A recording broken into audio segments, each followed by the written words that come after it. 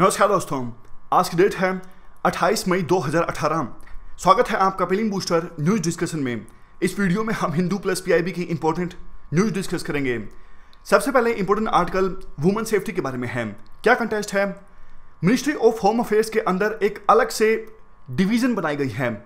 Women safety से जुड़े issues को डील करने के लिए। इस डिवीज़न को हेड किया जाएगा जॉइंट सेक्रेटरी लेवल के ऑफिसर के द्वारा। ये डिवीज़न बाकी मिनिस्ट्रीज के साथ डिपार्टमेंट्स के साथ कोऑर्डिनेशन इस्टेब्लिश करेगी, ताकि कॉम्प्रिहेंसिवली वुमेन की सेफ्टी को इंश्योर किया जा सके। देखो, वैसे तो सरकार ने बहुत सारे प्रयास किए हैं हमारे देश में वुमेन की सेफ्टी को इंश्योर करने के लिए, महिलाओं को सुरक्षा प्रदान करने के लिए। लेकिन फिर भी महिलाओं के खिलाफ जो अपराध होते हैं, उनमें कमी नहीं देखने को मिल रही है। वुमेन सेफ्टी के अलावा ये डिवीज़न और भी बहुत सारे इश्यूज़ पे काम करेगी। जैसे एससी और एसटी यानी शेड्यूल कास्ट और शेड्यूल ट्राइब लोगों के खिलाफ जो अपराध होते हैं, उन इश्यूज़ से भी डील करेगी ये डिवीज़न क्राइम अगेंस्ट चिल्ड्रन बच्चों के खिलाफ जो अपराध होते हैं, उन पर भी फोकस करेगी। इसके अलावा एल्डरली पर्सन ट्रैफिकिंग यानी तस्करी। देखो, कई बार आपने भी इस चीज़ को पढ़ा होगा कि नॉर्थ ईस्टर्न स्टेट्स जो हैं हमारे इंडिया में, जो उत्तर पूर्वी क्षेत्र हैं, वहाँ के राज्यों से नॉर्थ इंडिया में महिलाओं की या फिर बच्चों की ट्रैफिकिंग करके लाया जाता है। और काफ़ी बार ये भी पढ़ने को मिलता है, नेपाल से भी महिलाओं को ट्रैफिकिंग करके लाया जाता है, उनको नौकरी का झांसा दिया जाता है और यहाँ पर आके उन्हें सेक्स के धंधे में धकेल दिया जाता है। तो इस चीज़ को रोकने के लिए भी काम करेगी, यानी कोऑर्डिनेशन इस्टेब्लिश करेगी विभिन्न मिनिस्ट्रीज और डिपार्टमेंट्स के बीच ये डिवीज़न जो कि मिनिस्ट्री ऑफ़ होम अफेयर्स के अंदर इस्टेब्लिश की गई है। वैसे दो दो जो इश्यूज़ हैं, आगे और भी दिए गए हैं। प्रिजन रिफॉर्म्स हमारी जेलें ठसा ठस भरी हुई हैं।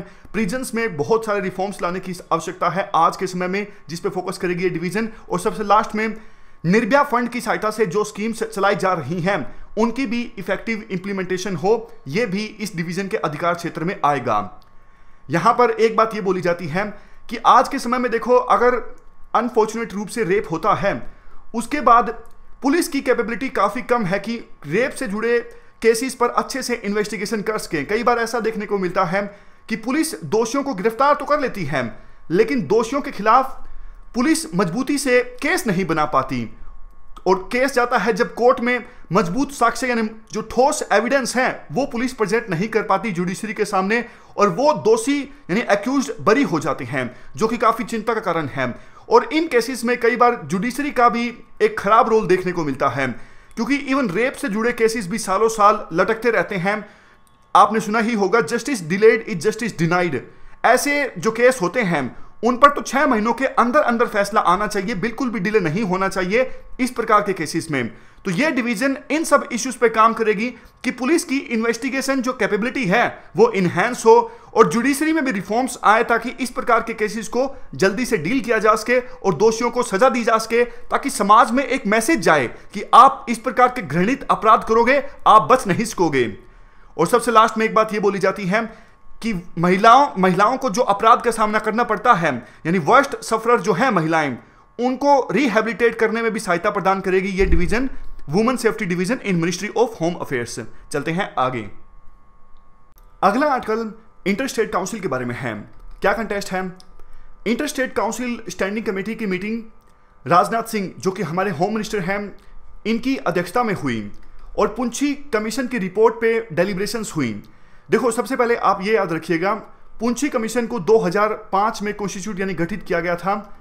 मैंडेट दिया गया था एम एम पुंछी जो कि उस समय retired chief justice of India थे कि आप पूरा फ्रेमवर्क डिफाइन कीजिए कि सेंटर और स्टेट के रिलेशंस में किस प्रकार से बदलाव करने की आवश्यकता है।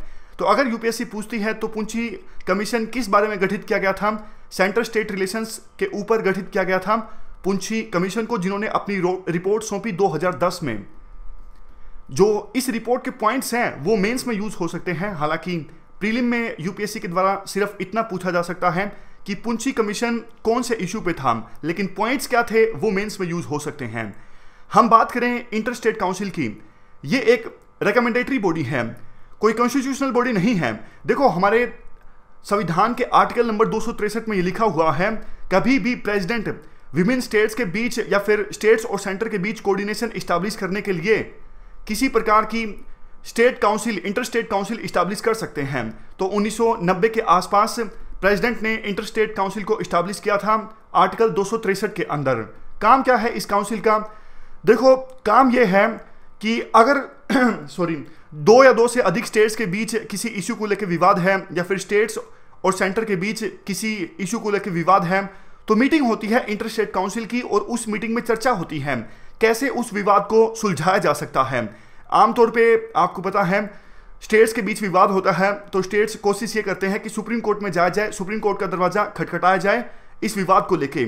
लेकिन अगर आपसी सहमति से और उस इशू पर डिस्कशन करके इस प्लेटफॉर्म पे अगर उस विवाद को सुलझा लिया जाता है तो ये हमारे फेडरलिज्म के लिए बहुत ही अच्छी बात है। तो आप कह सकते हैं, विभिन्न स्टेट्स और स्टेट्स और सेंटर के बीच कोऑर्डिनेशन इस्टेब्लिश करती है ये body inter state council. Composition की बात करें तो प्राइम मिनिस्टर चेयरमैन होते हैं इंटर स्टेट काउंसिल के। इसके अलावा सभी राज्यों के मुख्यमंत्री, अगर यूनियन टेरिटरीज में लेजिस्लेटिव असेंबलीज हैं तो यूनियन टेरिटरीज के chief ministers for example Delhi और पुडुचेरी और जहाँ पे जिन यूनियन टेरिटरीज में लेजिस्लेटिव असेंबली नहीं है, वहाँ के एडमिनिस्ट्रेटर्स इसके अलावा सिक्स यूनियन मिनिस्टर्स जो कि कैबिनेट रैंक के जिनको नॉमिनेट किया गया हो प्राइम मिनिस्टर के द्वारा। ये सब मेंबर्स हैं, ये हमने बात की इंटर स्टेट काउंसिल की कंपोजिशन क्या है। चलते हैं अगले आर्टिकल की तरफ़। अगला आर्टिकल रिमपैक एक्सरसाइज के बारे में है। क्या कंटेस्ट है? देखो यूएसए ने इनविटेशन दिया था चाइना को। रिमपैक एक्सरसाइज में पार्टिसिपेट करने के लिए यूएसए ने बोला था कि आप आइए, हम आपको इनविटेशन देते हैं। लेकिन साउथ चाइना सी में चाइना की एग्रेसिव एक्टिविटीज़ को देखते हुए अब यूएसए ने उस इनविटेशन को कैंसिल कर दिया है। यूएसए ने बोला कि नहीं, आपको आने की आवश्यकता नहीं है। आप तो गलत काम कर रहे हो साउथ चाइना सी में। आप एग्रेशन दिखा रहे हो, जो साउथ चाइना सी की स्टेबिलिटी के लिए अच्छी बात नहीं है। यूएसए के एक्सपर्ट्स का यह मानना है, रिम्पैक एक्सरसाइज का मकसद ही यह है कि पैसिफिक रीजन में विभिन्न देशों के बीच, विभिन्न देशों की नेवीज के बीच कोऑपरेशन स्टैब्लिश करना। लेकिन चाइना के जो लक्षण है वो ठीक नहीं है। चाइना जो डिस्प्यूटेड आइलैंड्स हैं, उनको मिलिटराइज कर रहा है। देखो साउथ चाइना सी और ईस्ट चाइना सी में बहुत सारे डिस्प्यूटेड आइलैंड हैं। यानी कई सारे देश हैं जो उन डिस्प्यूटेड आइलैंड्स पर अपना अपना दावा ठोकते हैं और कहते हैं, ये आइलैंड्स हमारे हैं। लेकिन चाइना काफ़ी ज़्यादा एग्रेशन दिखाता है। चाइना को यह लगता है कि हमारे पास पावर है, इसलिए जो बाकी देश हैं, जो डिस्प्यूटेड आइलैंड्स पर अपना दावा ठोकते हैं, उनको दबाया जा सकता है चाइना के द्वारा। इसलिए अब धीरे धीरे चाइना उन डिस्प्यूटेड आइलैंड्स पर कब्जा करता जा रहा है। वहाँ पे अपनी मिलिट्री को तैनात करता जा रहा है। वहाँ पे अपने वेपन्स को तैनात करता जा रहा है, जो कि इस रीजन की शांति के लिए बिल्कुल भी अच्छी बात नहीं है। हम थोड़ा और बैकग्राउंड डिस्कस करें। रिमपैक एक्सरसाइज में पार्टिसिपेट किया गया था चाइना के द्वारा 2014 में। उस समय यह कहा गया था कि ये काफ़ी अच्छी शुरुआत है, क्योंकि इस पूरे रीजन में विभिन्न कंट्रीज़ के बीच डिफरेंसेस रहते हैं, खास करके एक तरफ़ चाइना का कैंप है, दूसरी तरफ़ यूएसए का कैंप है। अब चाइना इस एक्सरसाइज में पार्टिसिपेट कर रहा है, इसका मतलब विभिन्न देशों के बीच कोऑपरेशन स्टैब्लिश हो जाएगा फ्यूचर में। लेकिन अब एक बार फिर से यूएसए ने फैसला किया है कि चाइना को इस एक्सरसाइज में इन्वाइट नहीं किया जाएगा। रिमपैक एक्सरसाइज देखो, दो साल में एक बार ऑर्गेनाइज होती है। किसके द्वारा?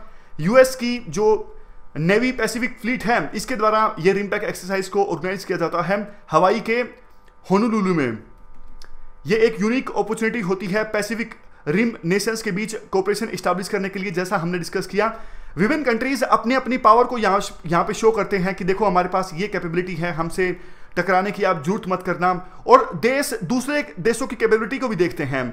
मान लीजिए, इस जॉइंट एक्सरसाइज में यूएसए की नेवी आएगी, करतब दिखाएगी तो चाइना को पता लगेगा अच्छा यूएसए की नेवी ये चीज़ कर सकती है।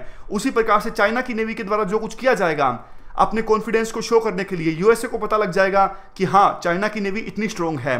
तो ये मौका होता है। कई सारे ऑब्जर्वर नेशंस भी हैं, जैसे China Ecuador India Mexico Philippines Russia ये सारे ऑब्जर्वर नेशंस हैं। इंडिया भी ऑब्जर्वर नेशन है। ये देश पार्टिसिपेट नहीं करते, यानी अपना जहाज़ सिप नहीं बेचते इस एक्सरसाइज में। बस देखते हैं स्ट्रेटेजिक लेवल में क्या कुछ चल रहा है। कल को फ्यूचर में अगर ये देश फुल टाइम मेंबर बनेंगे तब इनको पता होगा कि क्या कुछ होता है इस एक्सरसाइज में। तब वो अपने शिप को आसानी से भेज सकेंगे। अभी फ़िलहाल ऑब्जर्वर नेशंस अपने शिप को नहीं भेजते और इंडिया भी ऑब्जर्वर नेशन है रिम्पैक्ट एक्सरसाइज का। चलते हैं आगे। अगला आर्टिकल बायोडाइवर्सिटी अवार्ड के बारे में है। क्या कंटेस्ट है? Singchung Bugun village community reserve जो कि अरुणाचल प्रदेश में है, इसको बायोडाइवर्सिटी अवार्ड दिया गया है एनबीए के द्वारा, यानी नेशनल बायोडाइवर्सिटी अथॉरिटी के द्वारा, जिसे इस्टेब्लिश किया गया था 2003 में। क्यों अवार्ड दिया गया है? क्योंकि इस कम्युनिटी रिज़र्व ने काफ़ी अहम रोल निभाया है। क्रिटिकली इंडेंजर्ड बर्ड ये देखो पिक्चर में जो आपको बर्ड दिख रहा है, इस पक्षी का नाम है बुगुन लियोसिचला। इस बर्ड को कंजर्व करने में काफ़ी इंपॉर्टेंट रोल प्ले किया है कमिटी रिज़र्व ने, इसीलिए बायोडाइवर्सिटी अवार्ड दिया गया है। हम बात करें इस पक्षी की, यानी बुगुन लियोसिचला की। इस पक्षी को डिस्कवर किया गया था 2006 में अरुणाचल प्रदेश के वेस्ट कामिंग ज़िले में। पक्षी का जो नाम रखा गया है, वो बुगुन कम्युनिटी के सम्मान में रखा गया है। बुगुन कम्युनिटी रहती है आंध्र प्रदेश के वेस्ट कामिंग डिस्ट्रिक्ट में एक गाँव है, सिंगचुंग गाँव है।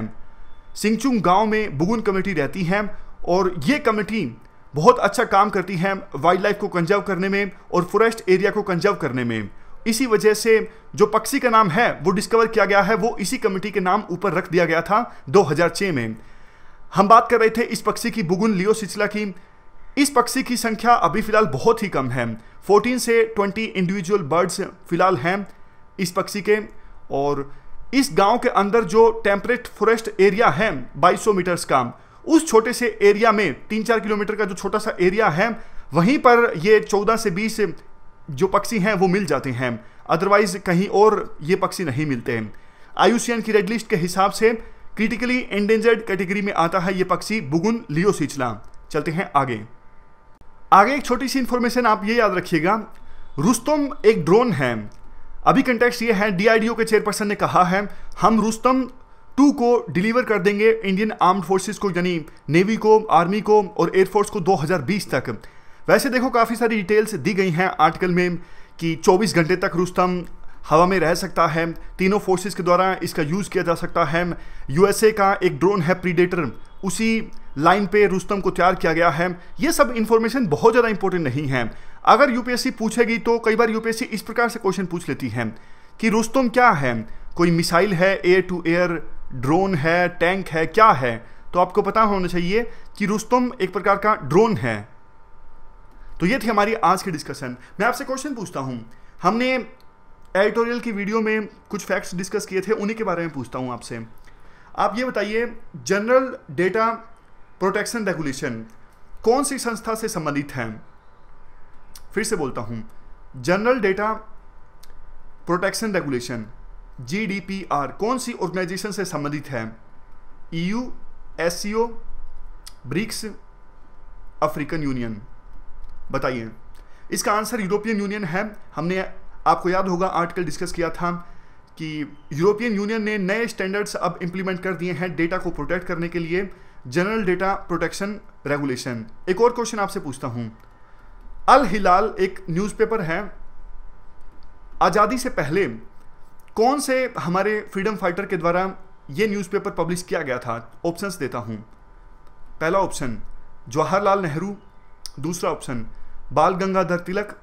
तीसरा ऑप्शन लाला लाजपत राय, चौथा ऑप्शन अबुल कलाम आज़ाद, मौलाना अबुल कलाम आज़ाद। आप बताइए, चौथा आंसर बिल्कुल सही है, मौलाना अबुल कलाम आज़ाद के द्वारा ये न्यूज़पेपर पब्लिश किया गया था, अल हिलाल। हमने एडिटोरियल वीडियो में डिस्कस किए थे ये दोनों फैक्ट्स तो आज की डिस्कशन में फ़िलहाल इतना ही है। नहीं, शुरुआत से देख लेते हैं, अभी आज हमने क्या क्या डिस्कस किया। सबसे पहले हमने डिस्कस किया मिनिस्ट्री ऑफ़ होम अफेयर्स के अंदर एक वुमेन सेफ्टी डिवीज़न को इस्टेब्लिश किया गया है। इंटर स्टेट काउंसिल के बारे में हमने डिटेल से जाना। उसके बाद हमने रिमपैक एक्सरसाइज के बारे में जाना। ये वही उस, वही आर्टिकल है। एडिट नहीं है, यहाँ पे अच्छे से एडिट है। उसके बाद हमने बायोडाइवर्सिटी अवार्ड के बारे में जाना और यहाँ पे सबसे लास्ट में रुस्तम के बारे में हमने जाना। तो ये थी हमारी आज की डिस्कशन फ़िलहाल इस डिस्कशन में इतना ही है। Thank you thank you very much for discussion